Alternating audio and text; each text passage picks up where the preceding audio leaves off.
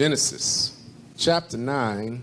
I'll read in your hearing verse 8 through 17. Genesis chapter 9, verse 8 says Then God said to Noah and his sons with him, Understand that I am confirming my covenant with you and your descendants after you, and with every living creature that is with you, birds, livestock, and all wildlife of the earth that are with you, all the animals of the earth that came out of the ark. I confirm my covenant with you, that never again will all flesh be wiped out by the waters of the deluge.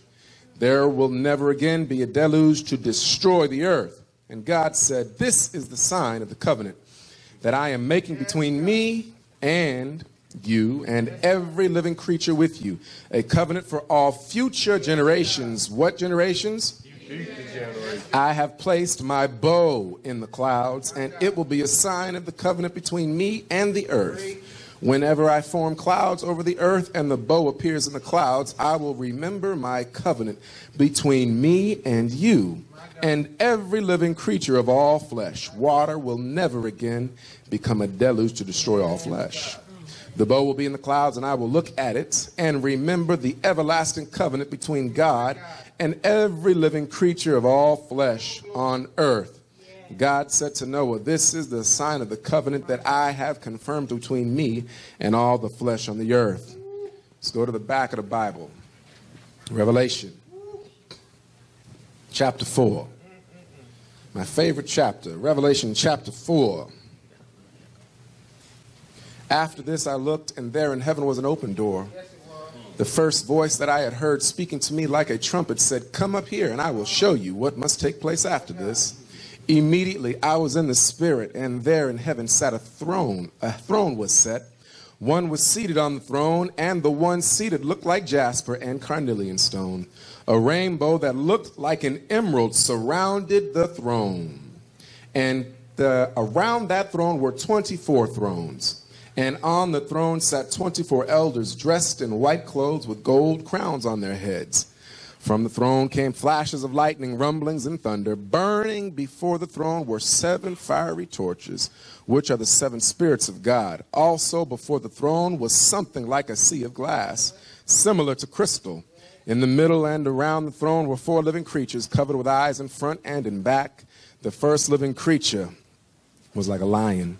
The second living creature was like a calf, and the third living creature had a face like a man, and the fourth living creature was like a flying eagle. Each of the four living creatures had six wings. They were covered with eyes around on the inside. Day and night they never stopped saying, Holy, holy, holy, Lord God the Almighty, who was, who is, and who is coming. Whenever the living creatures give glory, honor, and thanks to the one seated on the throne, the one who lives forever and ever, the 24 elders fall down before the one seated on the throne worship the one who lives forever and ever, cast their crowns before the throne and say, Our Lord and God, you are worthy to receive glory and honor and power because you have created all things, and because of your will they exist and were created.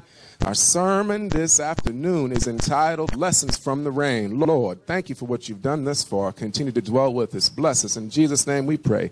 Amen on the edges of the Aegean Sea. An old man stands there with a beard that's graying. The water's lapping at his feet as the seagulls bomb back and forth.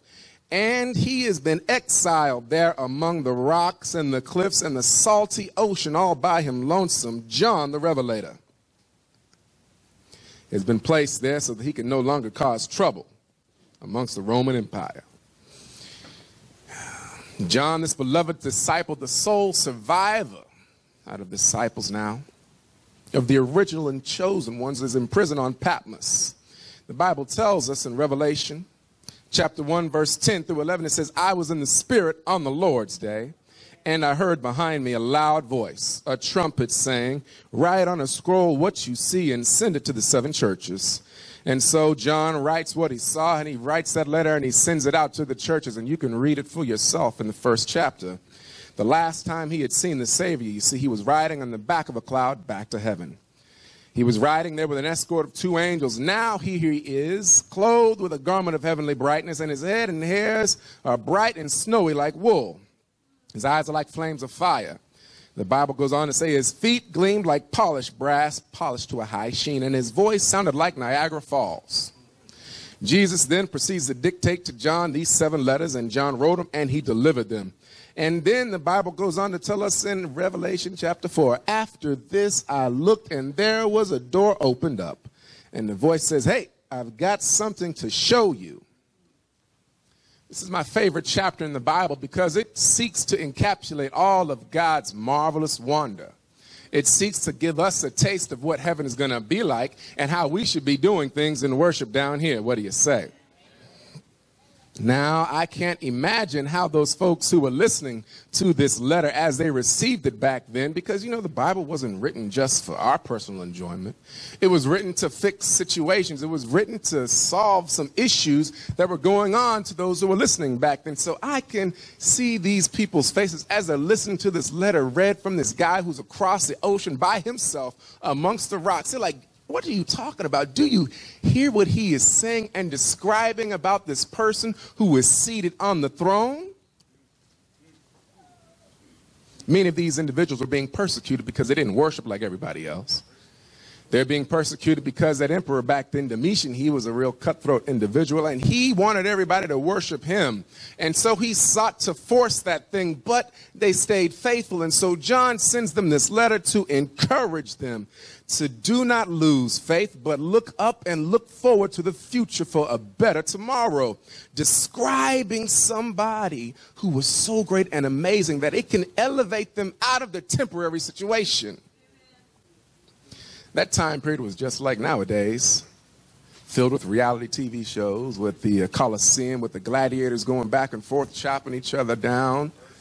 It was filled with all types of uh, liberal sexual uh, engagements. It was filled with all manner of things that was afflicting the individuals who were trying to be like Jesus, but struggling with it since everybody else around them was doing everything else opposite to Jesus' way tells us immediately he was in the spirit. And there in heaven a throne was sat. And it says one was seated on the throne, and the one seated on the throne was like jasper. He looked like jasper and carnelian stone. That's the first thing we see. You see, the Jewish people, they did not believe in describing and naming that person who was on the throne. And so they sought to describe the amazing features that were around him. He says it looked like carnelian stone, it looked like jasper. And I tried to find what jasper looked like. Jasper is a stone that's uh, kind of yellowish and it's supposed to be clear, but every picture that I found didn't look too clear.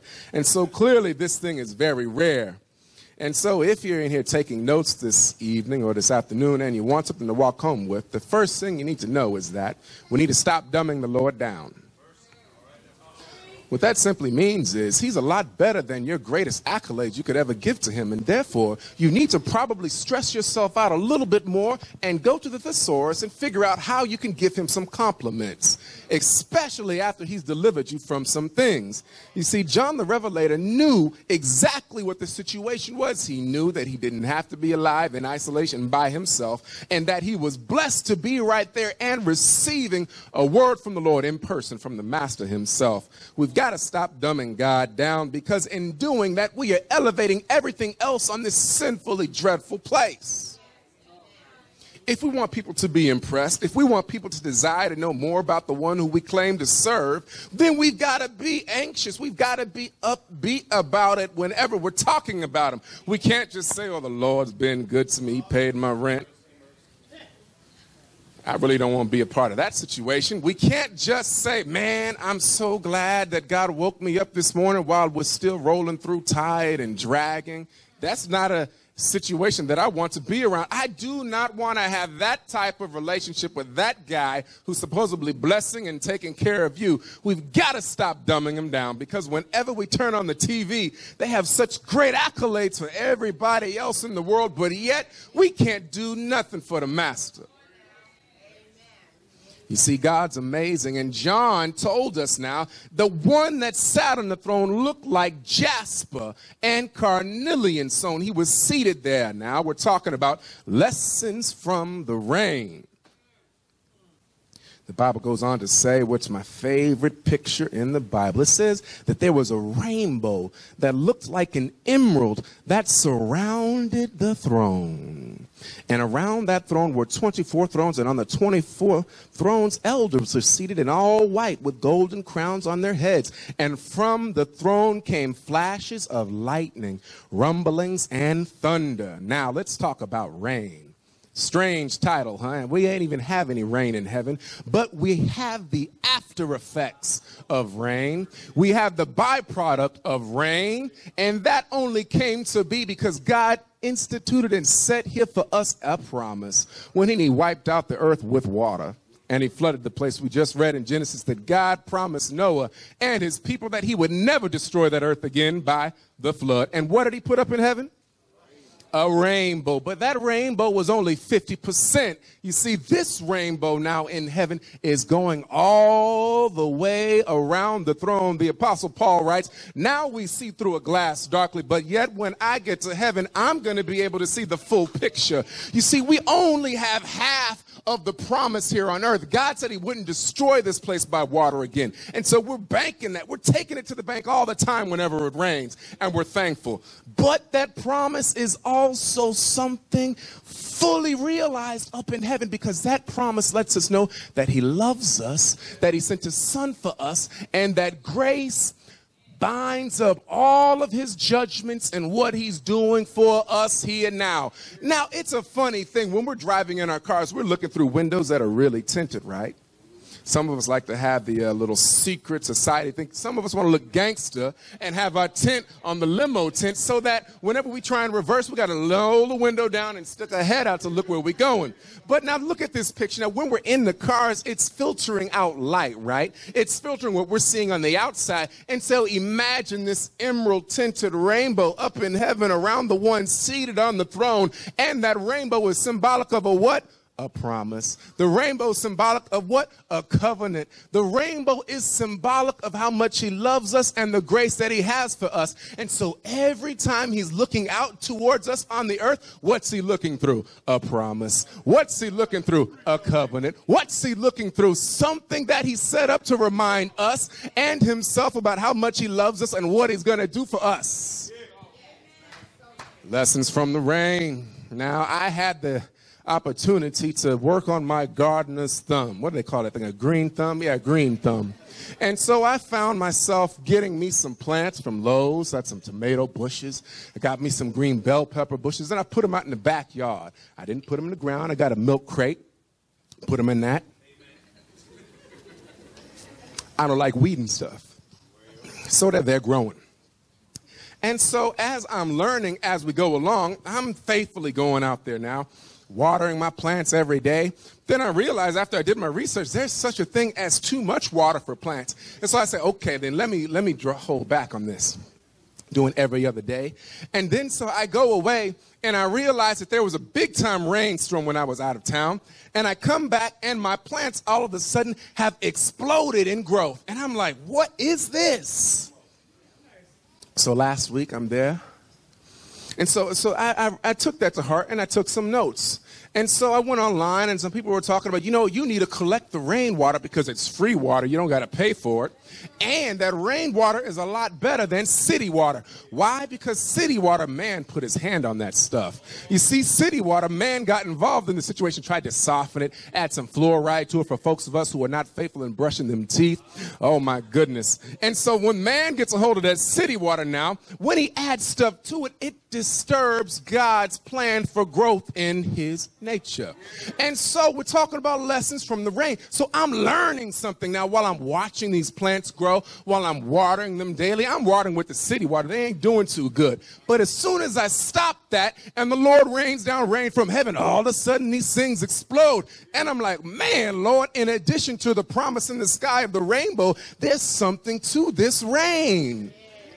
And so I'm thinking this thing through. So what I do is I go out and I buy me some 55 gallon drums, some big old blue things from Coca-Cola. Still had the syrup in there. I can smell Pepsi. I can smell Coke all in my backyard. And so I put a bucket on top of that thing. I put the funnel there and I put it under the spot where all the water overwhelms my gutters and falls right into that barrel. So the rain's coming down real hard. And I put my barrel over there, I'm catching the rain. And so I'm like, oh man, you know what? That's what's up. I have some empty buckets in the back. So I put them buckets out there. I'm catching. Man, my buckets are strategically everywhere over everywhere. It's catching all the rain that it can.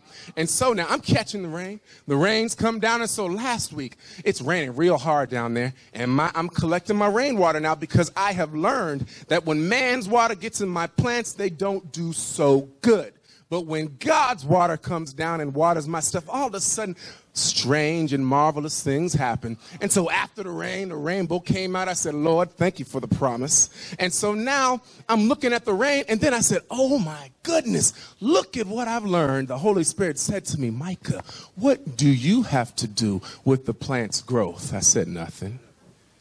He said, Micah, what do you have to do in the facilitation of me absorbing water from the earth and cleansing it from where you and your people messed it all up? And then I store it up in the clouds for my plants and vegetation to return it to them just when they need it. What do you have to do with that? I said, nothing. He said, so why don't you just ask for me to provide for you like I'm providing for my plants? And so I said, okay, I received that. And so the rain is coming down now, the rainbow's up there, and I'm realizing, man, Lord, that's a marvelous thing. I didn't even realize it. You see, we are living our lives in such a manner that there is a constant precipitation of blessings being stored up for us in heaven now. You don't understand it. Do you know every day God is storing up blessings for us in heaven? Don't you know that whenever blessings meet critical mass, just like Rain reaches a critical mass up there in those clouds. All of a sudden, the clouds doing some strange thing. The Bible paints a picture in Revelation chapter 4 about some thunder and lightning that's coming from the throne. Sans raindrops. It paints a picture that there's strange voices grumbling in the throne, talking about the glory and the goodness of God. I can't understand them, neither can John, but they're without the rain. Why? There's no need for rain in heaven when the originator of all the blessings is up there taking care of everything. And so all the time, blessings are going up.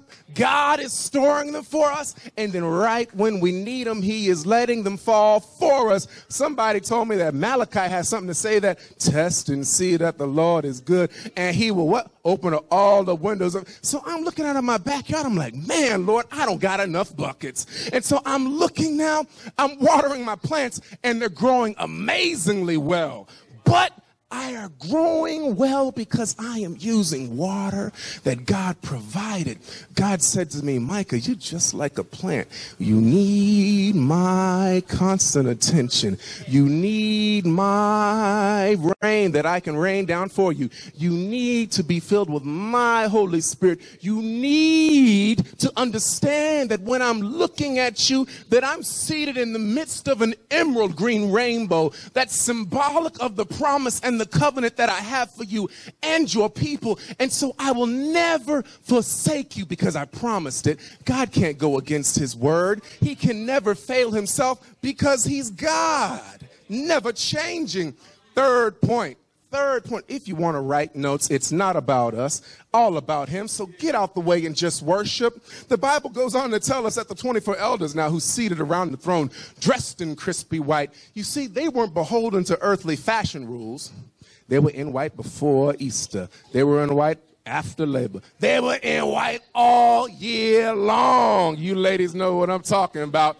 And what did they do in those white robes? You see, the Bible tells me that whenever those living creatures rolled around with their faces everywhere and all the wings on the inside, you see, the Bible tells me that they covered their faces with two wings, covered their feet with two wings, and then flew around the rest of the place crying out, Holy, holy, holy Lord God Almighty, who was, who is, and who's coming. Whenever they did that, the Bible tells tells me that those 24 elders fell down before the one seated on the throne and they cast their crowns.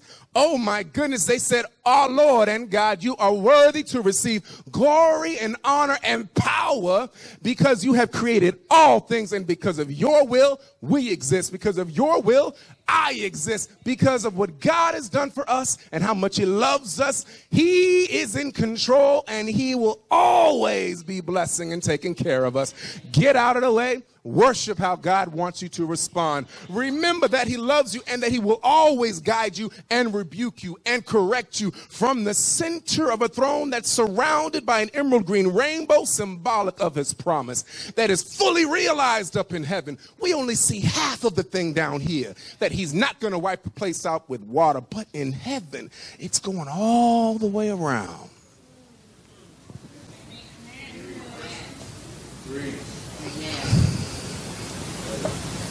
I want to go. I hope you want to go. The only way we're going to get there is if we take some cues from these guys or ladies, who knows. But they put first things first. They made sure they glorified the Lord in all that they did. The creatures, they did their jobs faithfully. The elders did their jobs faithfully. And so we should do the same thing. In our daily walk, let's not dumb the Lord down so that we can get others to imagine his greatness. Just lift his name up in the best way you can. Let's remember that even when we're going through hard spots like they were back then, that God is in heaven seated and filtering how he's looking at us through a promise that he set up for us. And that when it comes time for us to worship, forget about what everybody else is doing, what everybody else is saying, about how it should sound, about how it should look like, what it should feel like, and what we should be using, because I'm seeing people in this full body worship, falling prostrate on the floor. I'm hearing clanging of cymbals in heaven because of those many different crowns clanking across the floor. Now, you might not be able to see them if you're up there, but you got to move from behind the thrones where those guys are and watch them on the floor. It's difficult to catch them prostrate because they keep catching themselves back up and redoing it over and over again. But I'm so thankful that one day God is going to step out of heaven. He's going to break the barriers of that emerald rainbow and he's going to come back here for you and me. How do I know it? Because Revelation goes on to tell me that the one who's seated on the throne is going to stand up and there's going to be a rainbow seated on top of his head, not around the throne. It's following him, the promiser, the covenant keeper, the covenant maker,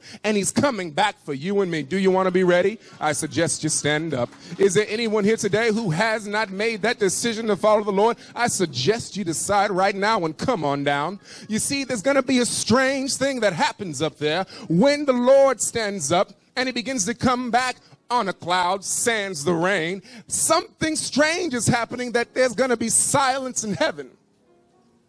There's not going to be any more thundering and lightning flashing. There's not going to be any more elders falling and sliding across the floor. No more clinking of the crowns. No more holy, holy, holy, because everybody's going to be gone. We're going to be standing somewhere in the world, looking at a cloud coming back, starting off real small, and then we're going to see Jesus himself. Paul encourages that those of us who are going to go to sleep in advance, that he's going to call us by our government name. He's going to say that whole thing, get up. When we're resurrected, we'll be transformed in the twinkling of an eye. And those of us that remain will be caught up together to meet the Lord. I want to be there. I already know what I need the Lord to get for me. I need some wings on my back so that when I go flying throughout the galaxies, I can dive bomb and fly with the best of them come and go as I see fit. I want to be there. I've got a place behind the throne that I intend to be there. Do you want to be there? 12 gates. I can be first. I can be last. I can barely get in. I don't care as long as I'm there with my family. Do you want to go? If you have not decided, come on down. If you haven't decided, come on down. Lord, you see your people. They showed up today on the day that you blessed. They showed up today, Lord, because they know and they love you and they're here to worship you, to get rebooted for the journey.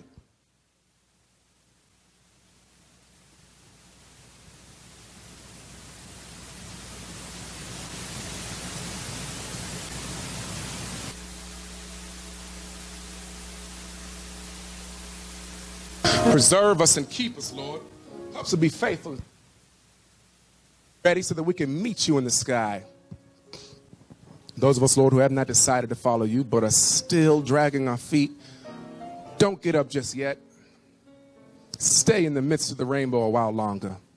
Continue to look at us through grace and love. Give us another chance to get it right. Save us, Lord. Save us from ourselves.